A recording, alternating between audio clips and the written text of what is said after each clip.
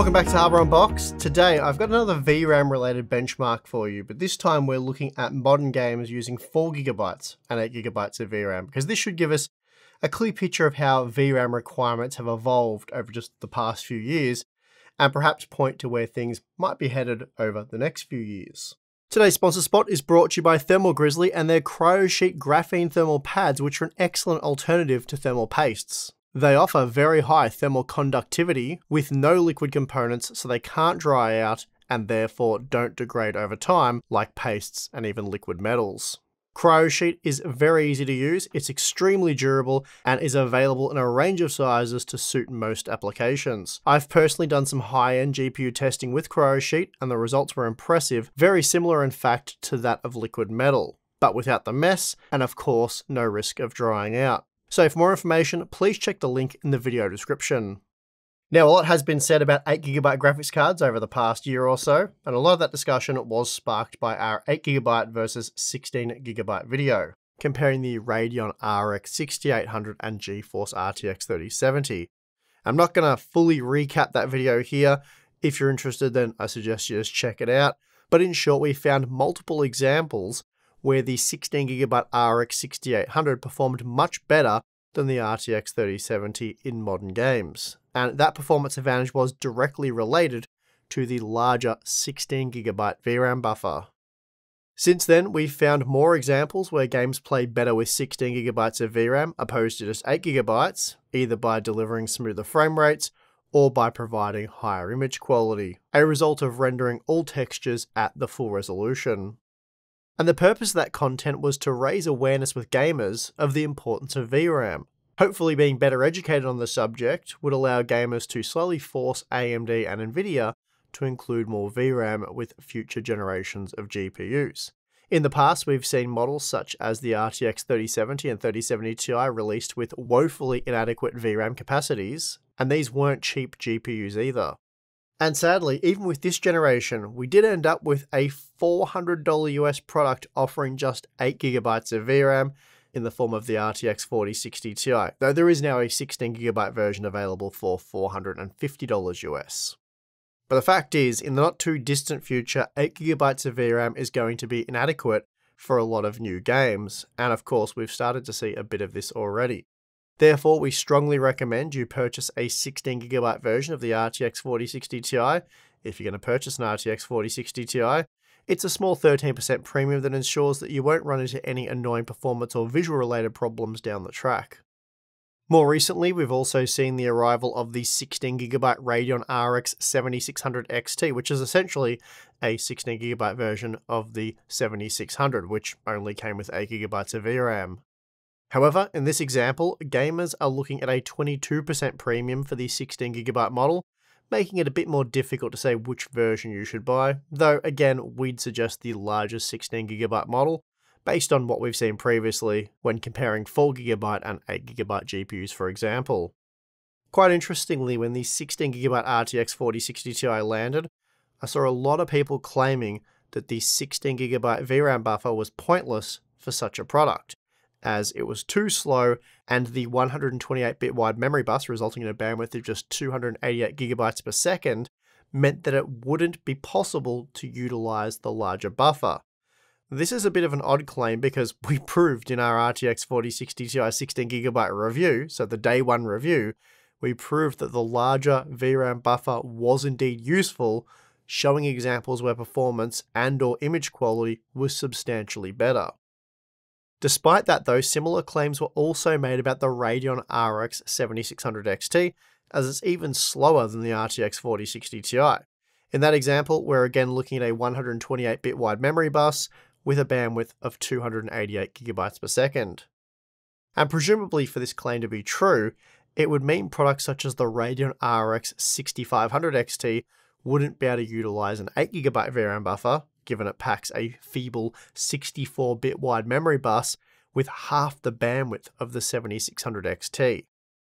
And that's an interesting comparison, and as it so happens, I have both a 4GB and 8GB version of the 6500 XT. And other than the difference in memory capacity, both versions are identical. Like the 7600 XT and 16GB RTX 4060 Ti, the 8GB 6500 XT simply doubles the number of GDDR6 memory chips used, with the additional chips soldered to the backside of the PCB using the clamshell method. This makes the 6500 XT the most recently released and most powerful GPU to feature both 4GB and 8GB configurations. Of course, the 6500 XT is a very weak GPU, but for this testing that works in our favour, as it will give us some insight into how weaker GPUs utilize larger memory buffers. The 4GB versus 8GB comparison will also provide us with a peek at how 8GB versus 16GB might play out over the next few years. So for this testing, I'll be looking at a little over a dozen games, all of which have been tested at just 1080p using a range of quality settings. The test system is based on our Ryzen 7 7800X 3D using DDR5 6000CL30 memory, and of course we will be using PCIe 4.0 for the 6500 XT to ensure maximum performance. Okay, let's go look at the results. First up, we have Baldur's Gate 3. Probably not a game you'd associate with heavy VRAM usage, as it's really not by today's standards, but it can still fully utilize an 8GB VRAM buffer, which is a problem for the 4GB version. When using the ultra quality preset, we saw a 27% increase for the average frame rate and a massive 44% uplift for the 1% lows when using the 8GB 6500 XT. Also, because data destined for the local video memory wasn't spilling over into system memory, RAM usage was reduced by 26% for the 8GB 6500 XT configuration. Next up, we have Cyberpunk 2077, and here we're using the medium quality preset at the native 1080p resolution. And I should note, all testing in this video avoids using any kind of upscaling technology. When limited to a 4GB VRAM buffer using the 6500 XT, we saw 46 FPS on average, making the 8GB model 17% faster. But again, it was the 1% lows that saw the biggest uplift, 34% in this example. Memory usage increased to 6.8 gigabytes and RAM usage dropped by 17% to 10.9 gigabytes. So again, having enough VRAM is vital for performance. Dying Light 2 has been tested using the high preset, which allows for 60 FPS gameplay, but these quality settings don't exceed a 4GB VRAM buffer. So the 4GB and 8GB versions of the 6500 XT delivered the same level of performance.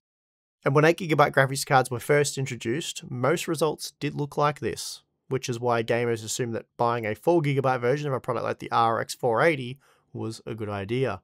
And admittedly, so did we.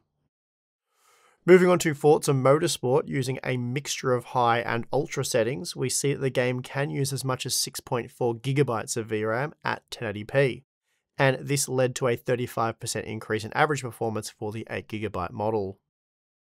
Immortals of Aveum is a visually impressive title, or at least it can be.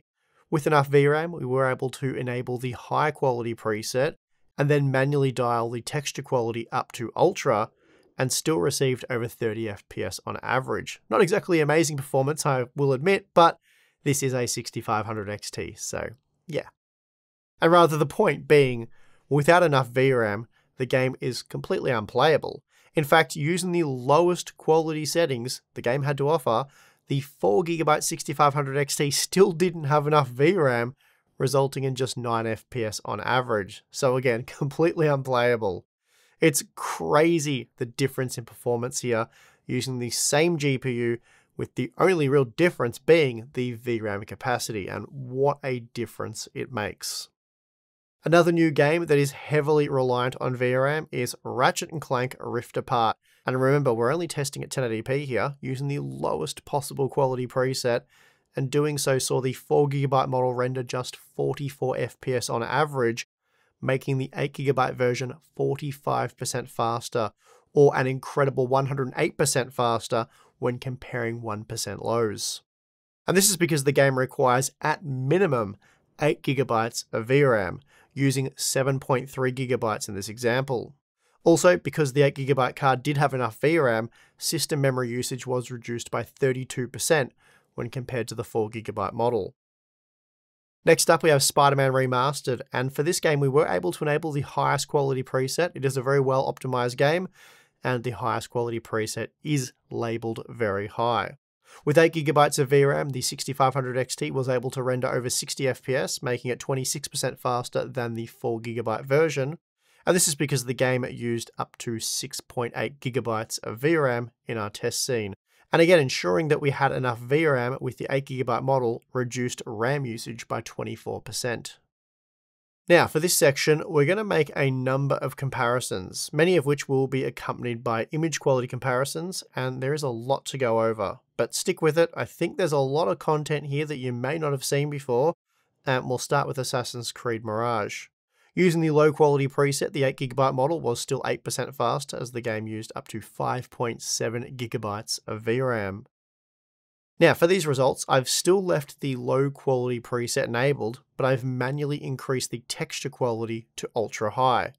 As a result, the 8GB configuration saw a 7% reduction in performance, but the 4GB model saw a massive 42% decrease or 75% decrease when looking at the 1% lows. The game is now coming close to maxing out the 8GB VRAM buffer, which is why the 8GB model saw a small decrease in performance and a slight increase in RAM usage. The end result, though, being a playable 66 FPS on average for the 8GB card, making it 74% faster than the 4GB model or 338% faster when comparing 1% lows. Essentially, what all this means is, for roughly the same level of performance, you can enable ultra high textures with the 8GB model, while the 4GB card will be limited to low texture quality, and even then we're still seeing an increase in RAM usage for the 4GB model. So we've seen the numbers, and here's how that translates into what you see. On the left, we have the ultra textures, and on the right, the low textures. At a glance, they look pretty similar, but as you start to pay attention when you're playing the game, you will notice the differences. Now remember, we are using the lowest quality visual settings, so stuff like level of detail, shadows, lighting, and other visual effects are pretty compromised here, but you can clearly see that distant elements are rendered at a higher quality using the ultra high textures. The brickwork on the ground, for example, so ground textures, they are noticeably better, and this really jumps out at you when playing the game. Hopefully, YouTube compression hasn't butchered these visual comparisons, and it is difficult to tell in this test, but stuff like the foliage on the trees, for example, does look better. But overall, in this title, the differences are often very small. But the point is, with the 8GB model, you get visual upgrades for free, there is no performance hit, so it is clearly the superior way to go. Banishers Ghosts of New Eden is a game I just purchased, so I haven't spent much time testing it, but it does require more than 4GB of VRAM at 1080p, even when using the lowest quality preset, as the 8GB 6500 XT was a massive 35% faster when comparing the average frame rate and 64% faster for the 1% lows. And this is due to the fact that the game uses 4.7 gigabytes of VRAM, which isn't much over the 4 gigabyte buffer, but clearly enough to cripple performance. Now, if we keep the low quality settings and just adjust the texture quality to very high, we see that VRAM usage increases to 5.8 gigabytes on the 8 gigabyte model, and this sees it lose almost no performance making it 65% faster than the 4GB version and 122% faster when comparing 1% lows. And this means you can max out the texture quality on the 8GB card and still see up to 58% better performance than the 4GB model, which was using the low quality textures. So again, you're getting much better performance coupled with an increase in visual quality. Next, we have Hogwarts Legacy. Not a well optimized modern AAA title, but an extremely popular game all the same. Using the lowest possible quality settings, the 4GB 6500 XT was good for just 71 FPS on average, which seems decent, but that's until you learn that the 8GB model is actually capable of 81 frames per second. That's a 14% improvement, though it's a 24% improvement in 1% lows, and you'll notice that the most. The game really does require more than 4GB of VRAM, and in fact, despite using the lowest possible quality settings at 1080p, we're not that far from maxing out the 8GB buffer with 6.8GB of VRAM used. In fact, we even saw a 52% increase in RAM usage for the 4GB configuration as data destined for the video memory overflowed into system memory. Of course, if we enable the ultra quality textures, the situation gets even worse for the 4GB model, and now system memory usage has increased to 17.7 gigabytes, while frame rates have dropped by 33%. This made the 8GB model 70% faster on average, as the game was now using 7.1 gigabytes of VRAM. And that means you can play Hogwarts Legacy using an 8GB 6500 XT, using the ultra quality textures, and with 80 FPS on average, you could even stand to increase a few other quality settings. But for the sake of this comparison, the 8GB model was 13% faster when using the ultra quality textures versus the 4GB model with low quality textures. Now the visual difference between the low quality preset using low textures versus the low quality preset using ultra textures is night and day, meaning it is very noticeable when gaming. Even in these static scenes, you can quite clearly see the difference, and I chose to compare Hogwarts Legacy this way as it was extremely difficult to get the exact same matching scenes as I was moving around. And hopefully you can see it, but to the right there's a stack of pots on screen and they are rendered in much higher detail when using the ultra textures. Also, looking at the A-frame building in the distance, you can see that the bricks that make up the facade are rendering at a much higher quality. Then in this scene at the food cart, simply increasing the texture quality results in significantly higher image quality. Again, remember everything else is set to low, all we're doing is increasing the quality of the textures and this results in stuff like the shape of the vegetables looking much more realistic, and of course the textures of the vegetables look just worlds better, as does the ground textures, and even the crates on the cart look much higher resolution. Basically everything looks noticeably better. And a problem I actually found with the 4GB model was texture pop-in. So despite using the low quality textures, which again we did see a performance hit associated with that, there are other visual issues.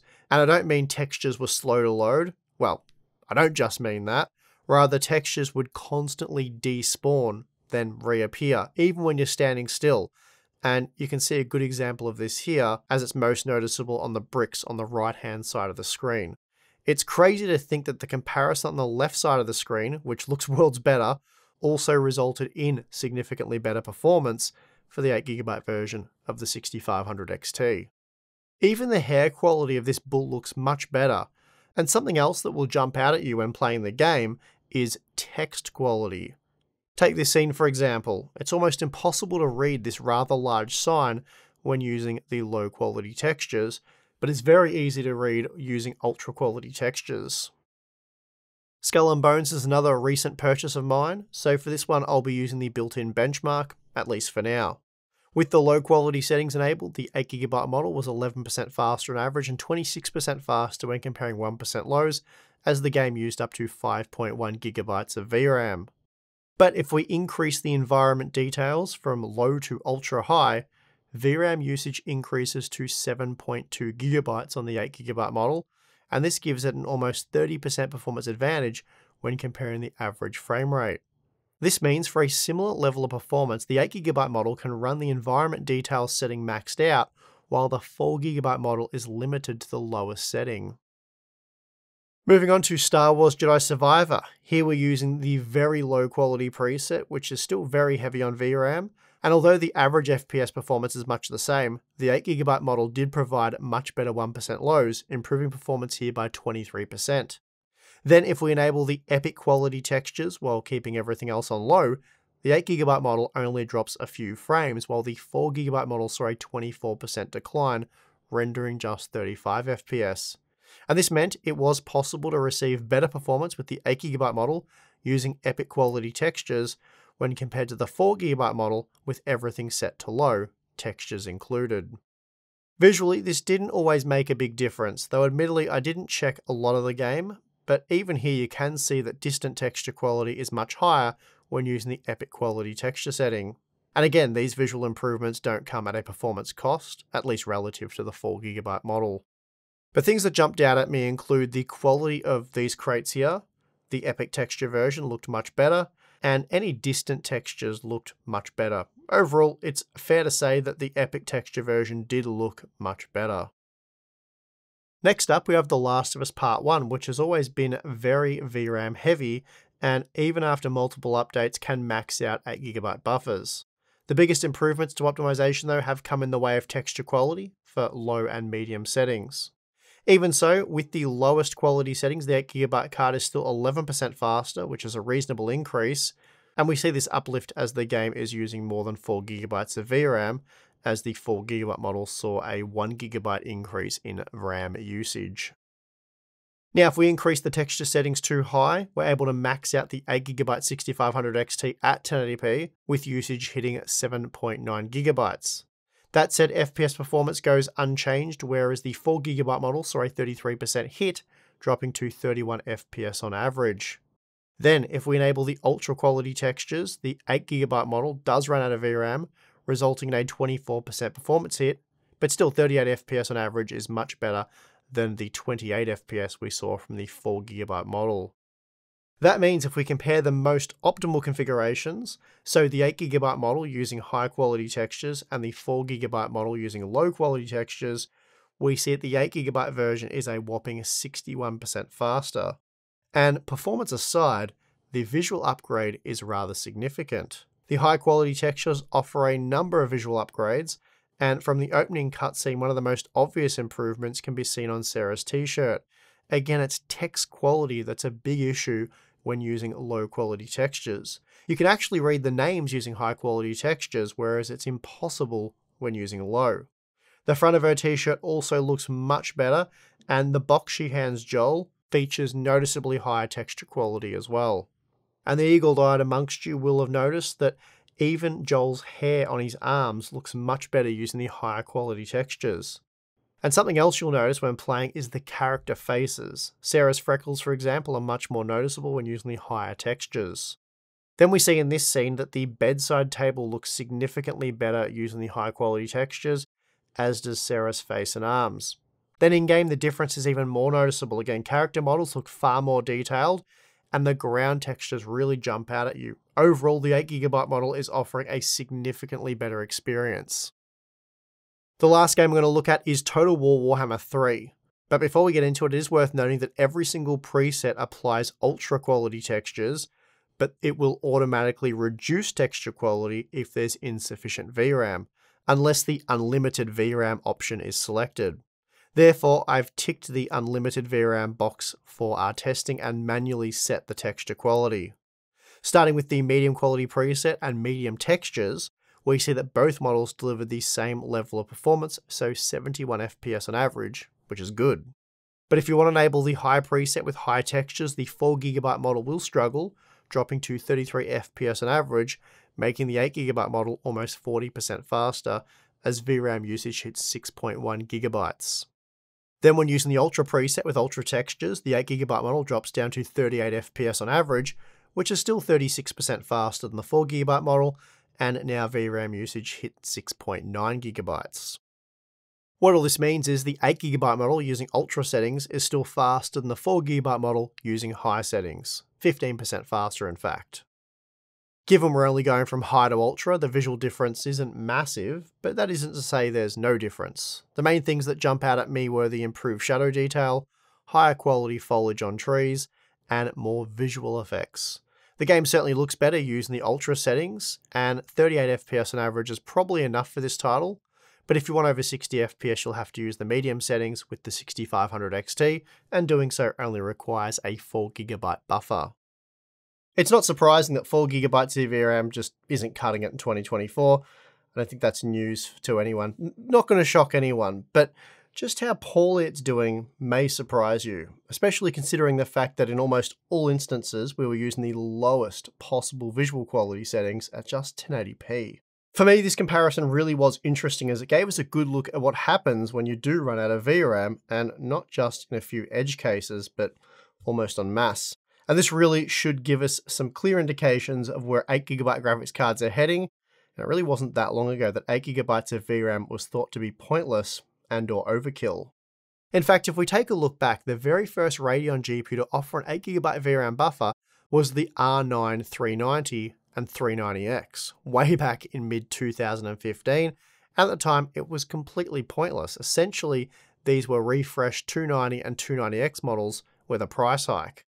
Then there was the RX 590, which was technically the first GPU to use 8GB of VRAM exclusively in late 2018, though it was really just an overclocked RX 580 on a slightly newer node. Therefore, Vega 56 and 64 were truly AMD's first new GPUs to adopt an 8GB VRAM buffer exclusively, so there was no option for a 4GB model, and that took place back in late 2017. Then mainstream affordable 8GB AMD graphics cards, they really didn't arrive until late 2021 in the form of the Radeon RX 6600 series. As for Nvidia, the first GeForce GPU to exceed 6GB of VRAM was the Maxwell-based GTX Titan X back in early 2015. It packed a 12GB buffer, but cost a cool $1,000 US, which at the time was pretty insane, so not sure we can count that one. Mainstream models didn't appear until mid 2016 with the Pascal based GTX 1070 and GTX 1080. They were priced at $380 US and at $600 US respectively, though it did get a price cut to $500 US. Then we got the RTX 2070 in late 2018 for $500 US, and it was Nvidia's cheapest 8GB model until the RTX 2060 Super arrived the following year for $400 US. And we didn't get a cheaper GeForce GPU until the crappy RTX 3050 in early 2022 for $250 US, though it generally cost a lot more than that. But I guess this is the first affordable 8GB model from Nvidia, as the RTX 3060 Ti still costs $400 US. So we received the first 8GB enabled GPUs way back in 2015, and at the time they were deemed pointless. Admittedly, even by myself, which I admit was short sighted on my behalf, though I think I loved just how affordable the R9 290 had become back then. Even with the release of the RX 480 in mid 2016, it still seemed as though the 8GB buffer was largely pointless, despite the 8GB option costing a mere $40 US more. In fact, I remember at the time being a bit annoyed that AMD only sampled the 8GB versions of the RX 480 to media, as the 4GB model was much better value in terms of cost per frame, at least at the time. Then by the time the RX 580 rolled around, not much had changed, though for a mere $30 US premium, we were now recommending viewers opt for the 8GB model. Then in late 2019, I compared the 4 and 8GB versions of the RX 5500 XT and concluded that if you're a single player gamer who prioritizes visual quality, then you'll want to avoid the 4GB model like the plague. So, based on that timeline, in 2017, when the RX 580 and NVIDIA's Pascal GPUs were on the scene, we were recommending 8GB options when available. And by 2019, strongly recommended avoiding GPUs with just 4GB, budget permitting, of course. And that's a relatively tight turnaround time. Basically, we went from 8GB in 2015, when it was first introduced as being pointless and a bit overkill, and it was still much the same story in 2016, Though by 2017, we were starting to see signs that it might make sense to invest in an 8GB model if possible, and by 2019, it was a strong recommendation.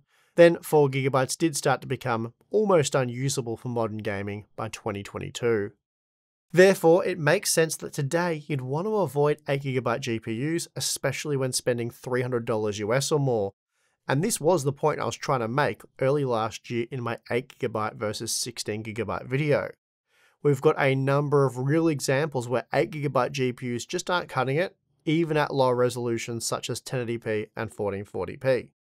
So if we're seeing a number of examples now, then history does suggest that it won't be too many more years before 8GB GPUs are almost unusable outside of the very lowest possible quality settings, and even then, performance may not be great. This video also highlights just how important VRAM is. With 4GB, the 6500 XT is a steaming pile, but with 8GB, it's pretty usable, though sadly the 8GB models aren't $140 US and they aren't really easy to come by. They're not properly available yet, so we'll have to see how that situation develops over the coming weeks. And they do also suffer from all the same shortcomings as the 4GB models, such as PCIe 4.0 times 4 bandwidth, just two display outputs, and of course, no hardware encoding. But I tell you what, with 8 gigabytes of VRAM, it is worlds better. So that's good. And that's also going to do it for this video. If you enjoyed it, give it a like, subscribe for more. Bit of a different look at VRAM, but yeah, I found it interesting, so hopefully you guys did as well. And maybe if you really found it interesting, check us out over at uh, Floatplane or Patreon. Signing up to either one of those will give you access to our exclusive Discord server, monthly live streams, Q and A's, and behind the scenes content.